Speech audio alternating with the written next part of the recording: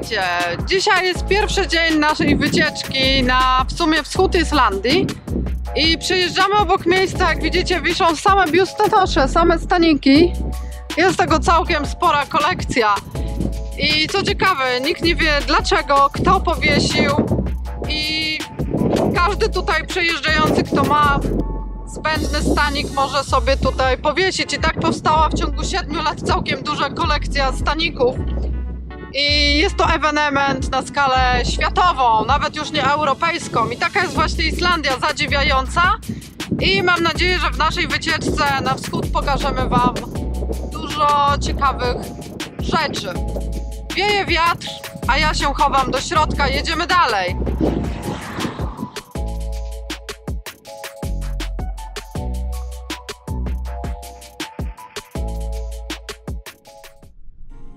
Jesteśmy w trakcie podróży w stronę Wiku. Wik, miasto, gdzie jest czarna plaża. Tam już się nie będziemy gdzieś zatrzymywać, ponieważ my pędzimy na wschód Islandii. E, Nie wiemy też, gdzie będziemy spać. Dzisiaj jest wiatr i Wam powiem ciekawe, jak to będzie, bo jest dość wietrznie w tej chwili. Zobaczcie, ja stoję czekam, bo on poszedł robić zdjęcia, ale zobaczcie, jak pięknie jest, jeżeli chodzi o pogodę. Wydaje się, że jest ciepło, bo jest dosyć ciepło. E, jednak wiatr i te pola łubinu, ten łubin to jest po prostu niesamowite, jak e, tutaj wszystko pięknie wygląda.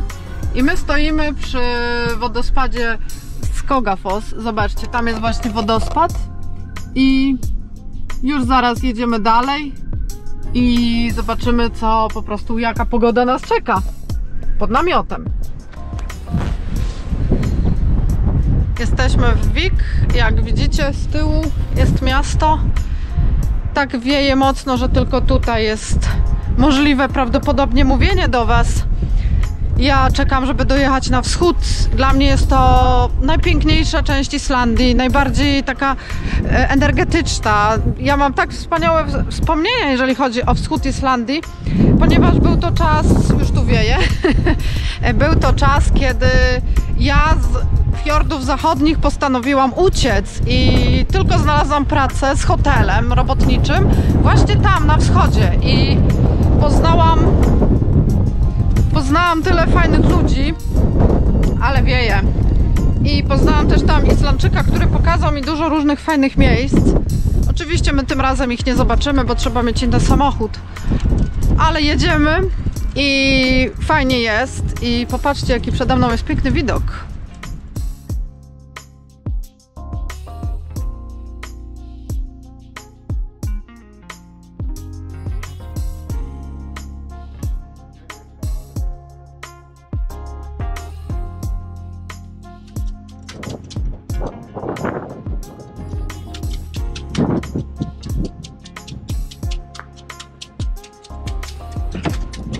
Zamknięte.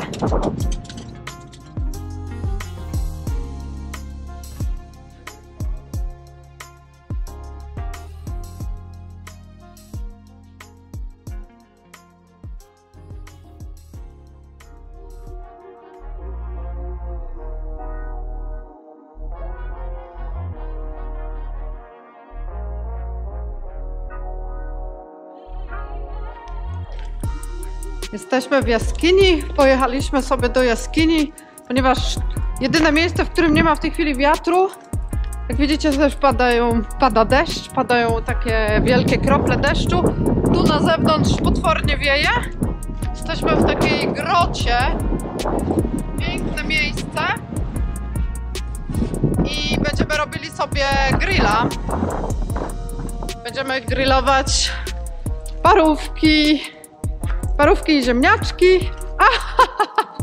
Ale spadło na mnie, widzicie? Fajne miejsce jest, zobaczcie jaka piękna grota. I też już widać tutaj ludzie przyjeżdżali, bo jest jakieś ślady ogniska są. Także my spokojnie możemy sobie tutaj pogrillować. O, i wzmocnimy grilla, żeby nam nie upadł. Zobaczcie widok na Jodę. Nagrywali tutaj Star Wars w tej jaskini. To jest ciekawostka. To dlatego, że właśnie tutaj w skale jest Joda. Ja nie wiedziałam, właśnie się dowiedziałam. Wy też.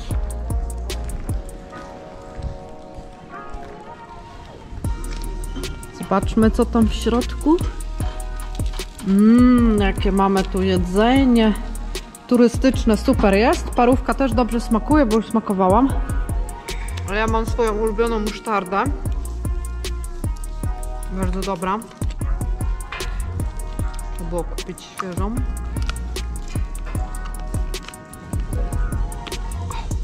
Taka parówka z musztardą. O ile musztarda wyleci, wspaniała rzecz. Tylko musztarda nie chce się pokazać, więc chyba nie będzie. O, jest. Sama woda.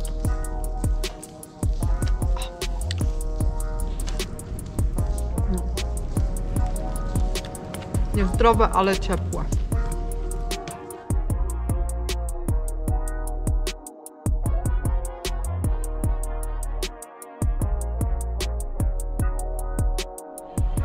Przystanek przy wodospadzie. Widzicie, Wenus w samych skarpetach idzie.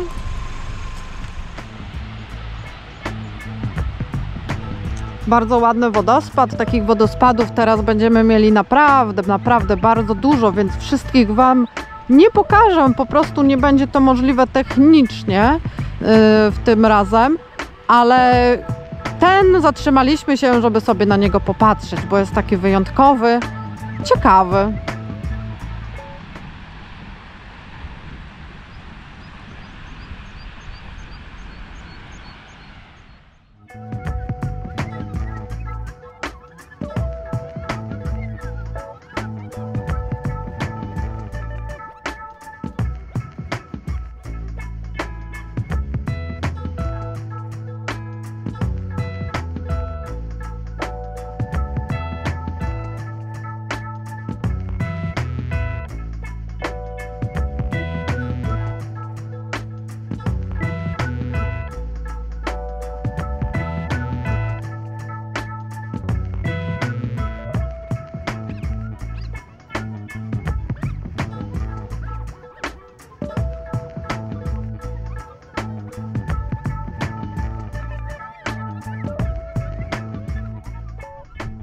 Mija godzina szósta, co najmniej naszej podróży, bo jedziemy sobie powoli, to się zatrzymamy, wiecie, to trzeba trochę tu po, pozwiedzać, tam pooglądać, do grilla trzeba było zrobić i dojeżdżamy prawie do miejsca, które nazywa się Jokul Sauloron, w którym to z lodowca e, odrywają się takie kawały lodu. To już jest przed nami, ale na razie zatrzymaliśmy się i zobaczcie, pięknie widać właśnie tutaj, jak z lodowca, wat na Jokut wydobywa się, e, schodzą po prostu ten cały lód.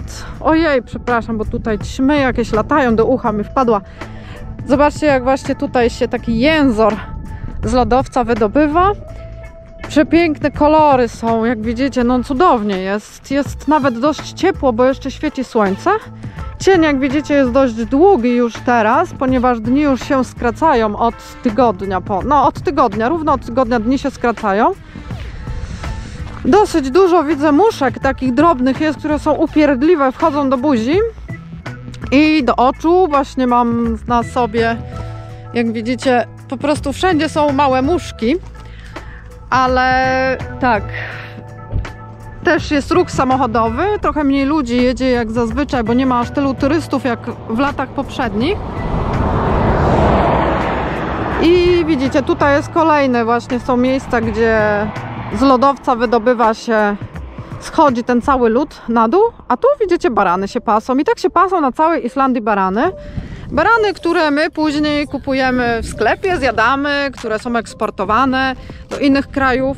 I tak właśnie yy, hoduje się barany. Barany są wszędzie i bardzo trzeba uważać, ponieważ barany czasami chodzą po drodze.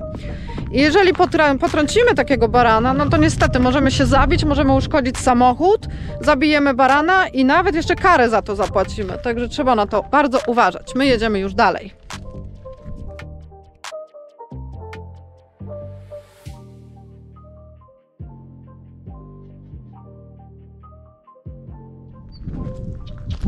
Zobaczcie, to jest kawałek mostu, który w 1996 roku został zniszczony, porwany dosłownie przez wulkan, który wybuchł Grimsvotn. E, właśnie tutaj na, na lodowcu Vatnajökull. Widzicie, tutaj jest e, język z tego lodowca. Myśmy już tu podjechali bliżej. I to właśnie tak pokazuje, jaka była siła, jak to wszystko zostało wygięte. Tak wyglądał ten most. Mijaliśmy go przed chwilą. Kawałki tego mostu. Niestety siła, widzicie, siła to jest taka siła, że nie ma po prostu z tym żartów. To wszystko po prostu mega pędzi. Masa tysięcy ton. I Islandia no Islandia dość często zmierza się z takim problemem, że po prostu przychodzi roztop lodowca, zwłaszcza na wiosnę i to wszystko też, te kawały lodu po prostu pędzą i niszczą, także tutaj widać dwa razy mijaliśmy dwa miejsca, w których kiedyś był most, a teraz już jest w innym miejscu most, ponieważ ruch musi toczyć się dalej, więc zarząd dróg stawia te mosty. No i, i w ogóle tu widzicie jak jest ładnie, cicho, spokojnie, ale powiem Wam, jest wiatr i też już jest chłodniej, bo niestety jest lodowiec i to bardzo ochładza.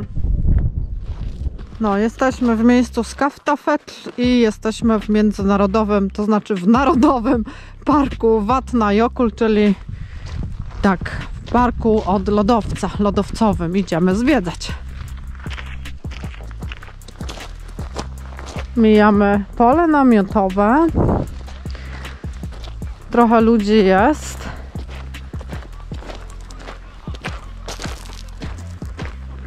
Idziemy pod górę i oczekuję, że zobaczę jakiś wspaniały widok, skoro mam tak wysoko wejść.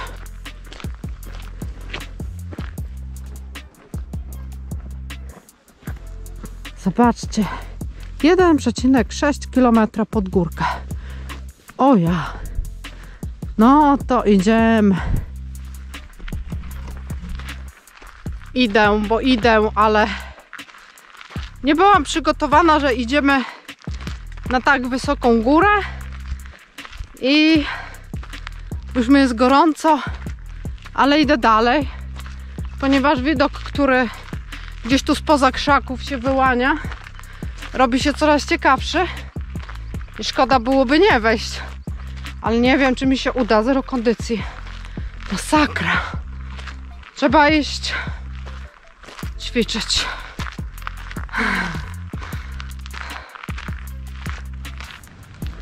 Chyba najtrudniejsze 400 metrów za nami. Idziemy dalej na czarny wodospad. Jak w jakiejś dżungli. Nic nie widać, ciemno. Tylko słychać szum wodospadu.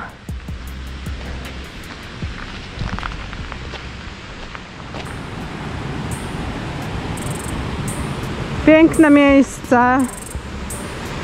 I ten szum wody na razie warto iść tyle pod tę górkę.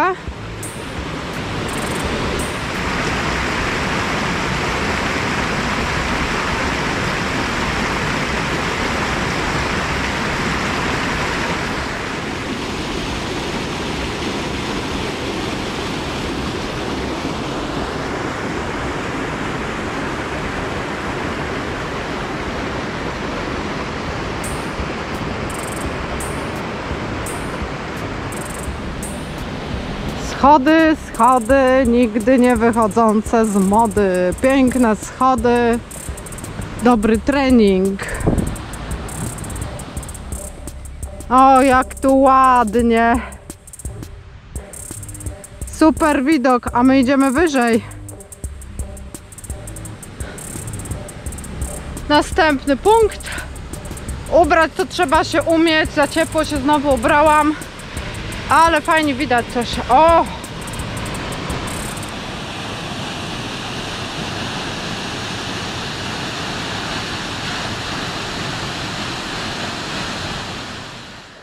Idziemy, ja już pełno optymizmu, że prawie koniec.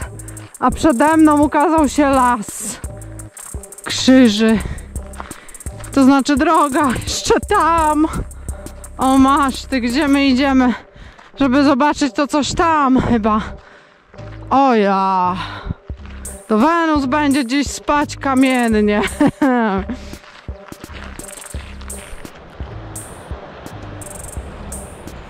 Gdzieś tam jesteśmy, idziemy dalej. Piękny widok. Muchy i pająki też są, tam widać taki mały rój much. Jak się w takie coś wejdzie, to nie jest zbyt przyjemnie. No, idziemy dalej. Zobaczymy, co przed nami. Tu jest fajnie wytłumaczone właśnie, jak powstają kolumny bazaltowe.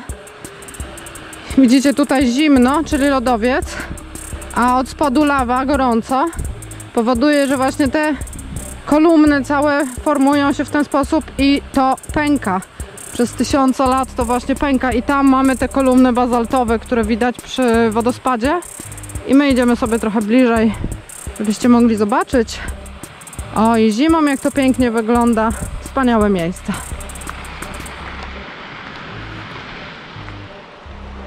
Idziemy i nawet przed nami pojawił się śnieg. Zobaczcie, jeszcze się nie stopił, kawałeczek został. Fajnie, mamy lato i mamy śnieg. Śnieg.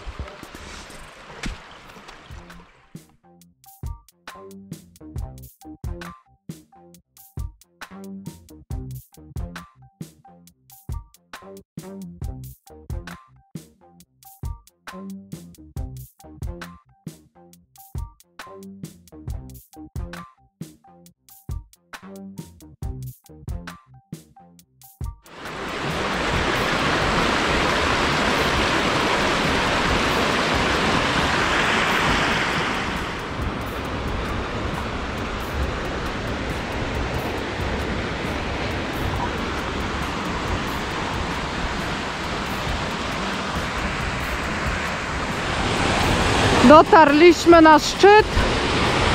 Czarny wodospad. Spartapos. Widzicie, bazalt jest czarny. I faktycznie tam widać takie popękania poprzeczne.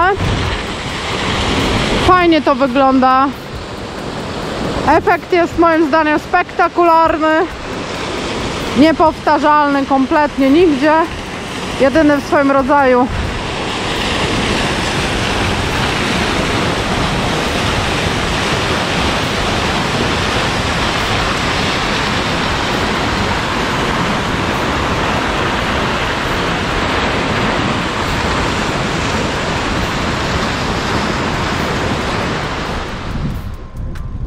My już jedziemy dalej. Powiem Wam, jest chłodno, bo pod tym lodowcem jest naprawdę chłodno. Zobaczcie, jakie piękne kawały lodu się kocą. Schodzą jęzory wielkie.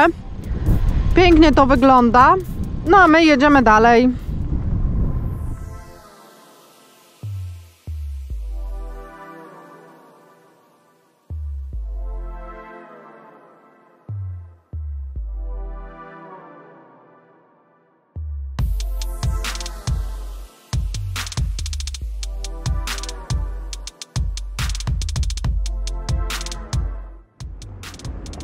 Jesteśmy w jednym z piękniejszych miejsc tutaj na Islandii. Jest to Jökulsárlón.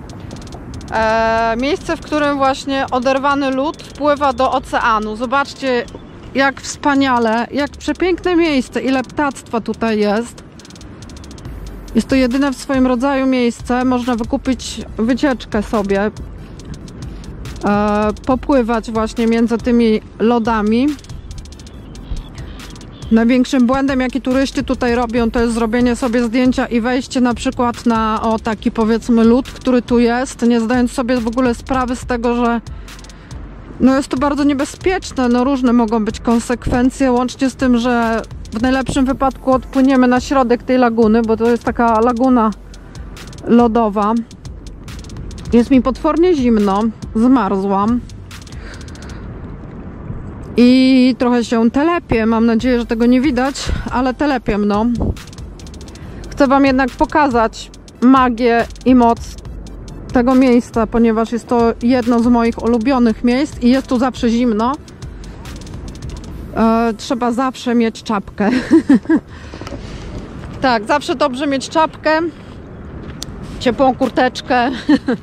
Naprawdę przymarzam, przymarzam. W tej chwili szczerze marzę, żeby dojechać już do tego miejsca, gdzie będziemy spać, e, rozłożyć ten namiot, zjeść ciepłą zupkę i położyć się do śpiworu i mam nadzieję nie zamarznę w nocy i po prostu obudzić się rano, kiedy już będzie ciepło, bo w zimę zawsze jest, w zimę, w nocy jest po prostu lodowato. Niestety takie są uroki kempingów islandzkich. I tak naprawdę kempingi islandzkie Wam powiem, że w tej chwili jest bardzo fajnie, jeżeli ktoś w namiocie e, sobie jedzie, dlatego że jest to takie ciekawe. Wszyscy jeżdżą domkami, kempingami, samochodami kempingowymi. Mało kto w tej chwili już w namiocie. Są ludzie, oczywiście jest dużo ludzi, którzy w namiocie podróżują, ale nie jest to ta grupa ludzi. Większość w tej chwili preferuje domy e, na kółkach. Magiczny wieczór, jest godzina 23, 11 wieczorem, jest właśnie noc, kochani. Są białe noce, a my jesteśmy w przepięknym miejscu, w którym ten cały lód, który przed chwilą oglądaliście, wpływa do oceanu. Zobaczcie, jak on wypływa. Tu właśnie jedzie taki jeden wielki kawał. Ta plaża potrafi mieć dużo więcej lodu, potrafi być wysypana całym lo lodem, dlatego nazywa się diamentową plażą. A prędkość rzeki, jak widzicie, jest ogromna. I co jest ciekawe, ee, być może, że jest jakiś roztop albo coś, nie wiem, po prostu naprawdę ta woda pędzi. E, jak ja tu byłam wcześniej, nie widziałam, żeby aż tak pędziła. Piękny wieczór, przyznacie, powiem Wam, jest szalenie zimno i postanowiłam Wam powiedzieć, że zostanę hardcorem. Zostanę hardcorem tego po prostu wyjazdu. Jeżeli go przetrwam, przeżyję, to naprawdę spanie w namiocie na Islandii to no tak, jestem hardcorem. Eee, dlatego ludzie w tej chwili preferują te domki. Ale wam powiem, że duża, duża grupa ludzi dalej śpi w namiotach i co ciekawe, jest to grupa ludzi, która jest taka, no nie boi się przygód, jakby to powiedzieć, nie boi się ekstremalnych warunków i wcale do niej nie należą biedni ludzie, których nie stać na taki właśnie czterokołowy pojazd z domkiem. Mnie na taki pojazd nie stać, ale byłaby to bardzo fajna, fajna rzecz. Świetne by było, można by było więcej miejsc pojechać na dłużej, częściej i tak dalej. Zobaczcie, wspaniale to wygląda. Idę plażą, środek lata. Przecież w Polsce jest po 30 stopni temperatury w tej chwili. Jest 1 lipca dziś, a my tu mamy, widzicie, kryształy lodu. Niesamowite, niesamowite. I jak tu byłam w 2007 roku, ta cała plaża była wy, wy, po prostu tu było tyle tego lodu i zobaczcie, ta rzeka nie bez przyczyny płynie tak szybko, bo jej będzie coraz więcej, coraz więcej i do tego właśnie tu miejsca rzeka po prostu wypchnie te malutkie kawałeczki. Czasami tutaj ogromne kawały też zostawały. Także wygląda to wspaniale, jest to fascynujące miejsce. Uważam, że jest to no coś niesamowitego, zobaczyć to na żywo. Zobaczcie jak rzeka pędzi, po prostu ona pędzi.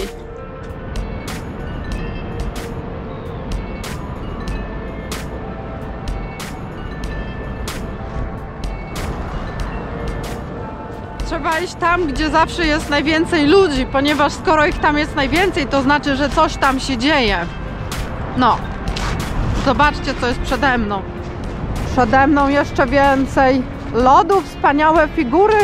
Można by powiedzieć, że rzeźby, które się topią, ponieważ pomimo, że jest zimno i lodowato i tak jest plus, ta ciekawa forma jest, którą ukształtowała natura. Więcej takich form tu można znaleźć.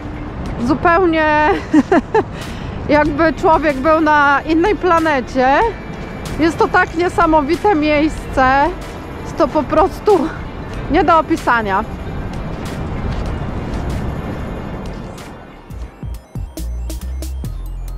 Przemierzając przez ten świat niesamowitych form natury. Zobaczcie, doszłam do ogromnych brył. Niesamowicie niebezpiecznej wody. Niesamowicie lodowatej przede wszystkim. Śmierć w takiej wodzie nastąpi w około jedną minutę. Piękne bryły. I żeby pokazać Wam, jak one są duże, ja sobie stanę koło nich. Widzicie, jakie one są ogromne. To na pewno nie jest 200 kg, to na pewno jest około 1,5-2 tony. Taka bryła lodu waży, ponieważ jest to bardzo dużo wody ona zawiera w sobie.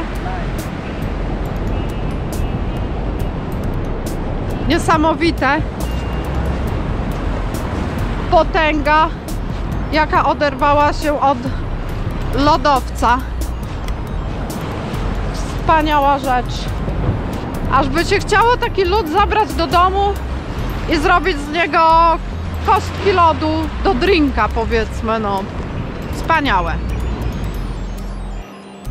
Wracamy już do samochodu i podziwiacie na pewno jeszcze ten lód, który tutaj jest na plaży, ale zwróćcie uwagę na tą plażę. To jest plaża powulkaniczna, jest czarna i ten piasek piasek, zobaczcie, przypomina mak.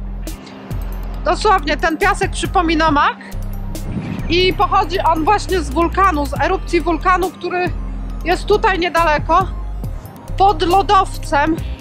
I właśnie w 2010 roku słynny Eja Eyjafjallajökull, który też jest pod lodowcem, dawno temu, tysiące lat temu, gdy te wulkany naprawdę tutaj pracowały, powstał właśnie ten piasek plażowy, wulkaniczny Islandii i możemy po nim dzisiaj dreptać.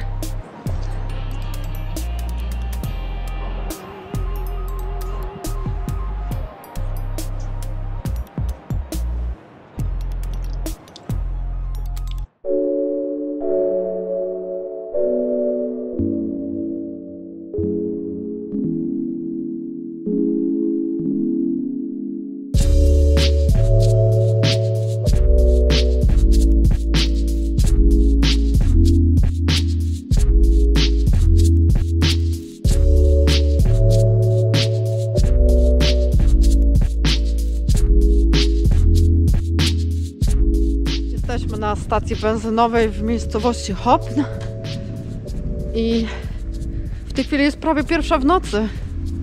Mam nadzieję, że widzicie ten piękny wschodozachód, zachodowschód słońca, ponieważ w tej chwili jest taka godzina, że mamy zachód słońca i dosłownie za godzinę mamy już wschód słońca, około drugiej w nocy. Przepiękne różowe chmury, które mówią o tym, że będzie zimno. Jeśli na Islandii chmury są rozmyte bardzo, mówi to, że będzie zimno, znaczy, że będzie wiatr. Eee, one są takie rozmyte, jest wiatr. Trafiliśmy akurat na pogodę lekko wietrzną, powiem Wam, przemarzłam i postanowiliśmy nie rozkładać w tej chwili namiotu. Przemęczyć się do około trzeciej rano, aż wyjdzie słońce i wówczas rozłożyć namiot, gdyż po prostu jest lodówka, jest plus 6 stopni. Ja się drę, jest noc. Nie widać, że jest noc, ja wiem. Ja się z Wami żegnam w tym odcinku, w tym e, filmiku, ponieważ my jedziemy przeczekać. I jeśli coś będzie, to jeszcze dogram, ale gdyby nic już nie było, to ja się żegnam. To na razie, cześć i mam nadzieję, że jeszcze coś jest. Obserwujcie, ja się cała telepię. Na razie, cześć. Jednak idziemy dalej i zobaczcie, pojechaliśmy, żeby przeczekać ten czas w takie specjalne miejsce, gdzie jest widok na górę, która znajduje się za tą wydmą. Eee, I jest to miejsce, gdzie farmer, rolnik, właściciel tego terenu każe sobie płacić za wjazd, stoi bramka, jest to po prostu trochę śmieszne. No, ale to jest właśnie ta góra. I zobaczcie, mamy w tej chwili e, napływ zimnego z ciepłem mieszanego powietrza i przez to, że w dzień było ciepło, to cała wilgoć poszła do góry i w tej chwili to opada. Wy... Przepraszam, wygląda to nieziemsko. Jest pół do drugiej w nocy. Ja oczywiście jestem przemarznięta, ale całe szczęście. Przezorny, zawsze ubezpieczony, druga kurtka. I powiem wam, że w tej chwili czuję, że ta druga kurtka ratuje mi tyłek i to nie ma jak. Po prostu kurtka na kurtkę i już jest fajnie. Ale przemarznięcie jest najgorszą chyba rzeczą, jaka może być. Dlatego właśnie wzięłam tyle ciepłych rzeczy ze sobą, bo ja już na tyle znam Islandię, że wiem, że można się mocno zdziwić. Idziemy w piękne miejsce jeszcze.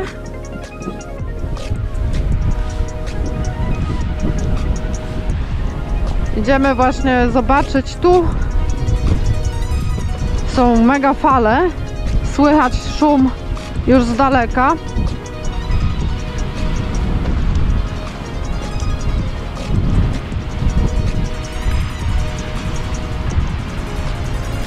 Jak elegancko.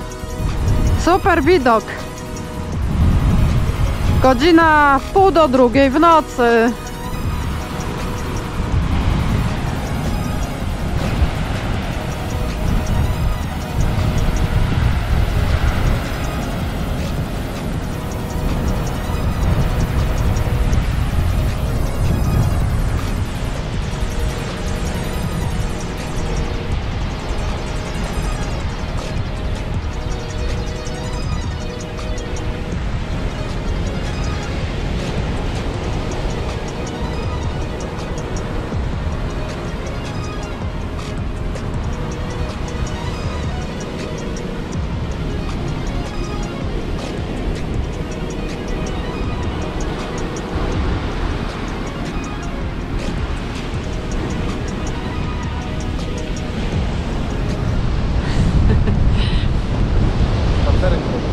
Tak, robimy właśnie spacerek w nocy za dnia i czuć dosłownie ta wilgoć powoduje, że jest naprawdę zimno w twarz. Ale ta część Islandii właśnie taka jest. Tutaj przeważnie właśnie wieje wiatr, zimny wiatr i no jak się tu mieszka, to się wie po prostu o tym i te fale prosto z oceanu przynoszą takie właśnie lodowate, masakrycznie lodowate powietrze. No słuchajcie, jest lipiec, już dzisiaj 2 lipca i nie wiem, temperatura chyba jest plus 3 w tej chwili albo i mniej, plus jeszcze ten zimny wiatr, więc wyczuwalne jest na pewno koło zera. Mój brat właśnie stwierdził, że mu jest ciepło. Nie wiem. Para z buzi leci. Ja czuję, że jest lodowato, jemu jest ciepło. To ja nie wiem w jakiej temperaturze on musi mieszkać, żeby mu było zimno. Mi jest zimno i taka jest prawda. Ja najwyraźniej nie przyzwyczaiłam się do takich lodów, mrozów, szkwałów i przeszkadza mi to. I wolę wyglądać jak bałwan tutaj i nie przemarznąć. To najważniejsze, nie przemarznąć.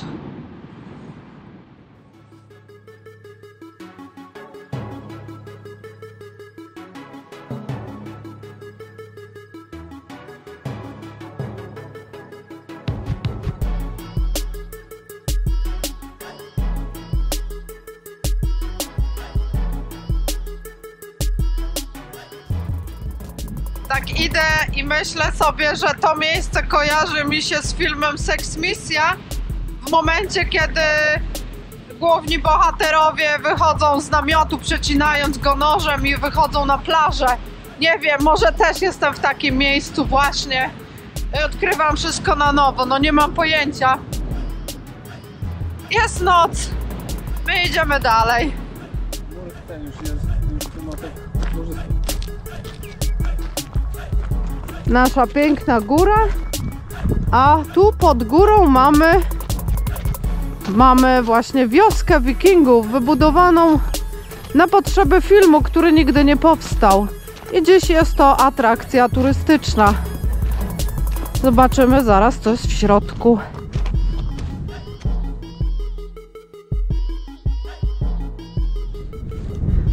Idziemy coraz bliżej. Wrota witają nas, pale. Można właśnie się nadziać przechodząc. Pewny, pewien rodzaj zabezpieczenia. A co tam jest w środku? Zobaczymy. Oho! Jak u hobbita. Domy. Trzeba patrzeć trochę pod nogi. O, tu jakiś fajny dom. Chcemy zobaczyć, co tu jest? O, jak tam ciemno, tam się nie wejdzie. Wszystko porozwalane jest. Zebrali jakieś drzewa na ognisko. Idziemy dalej. O. Super. To to miało być. To miała być góra, kamień taki wiesz. A, kamień. No tak, czyli to jest jakaś makieta, no, no, no. Nie no, to makiety filmowe, dokładnie. W środku jest puste, dokładnie. To, ale jakie ładne rzeźbienie tutaj jest.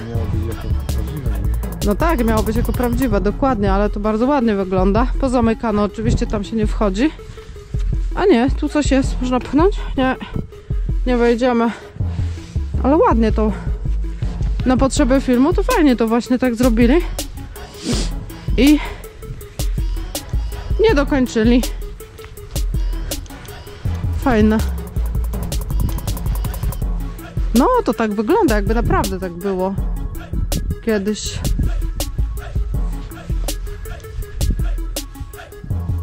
Bardzo ciekawe miejsce.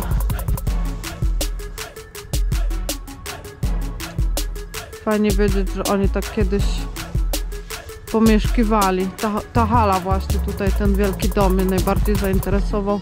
Co to mogło być? Pewnie biesiadowali na przykład sobie tutaj pijąc jakieś piwo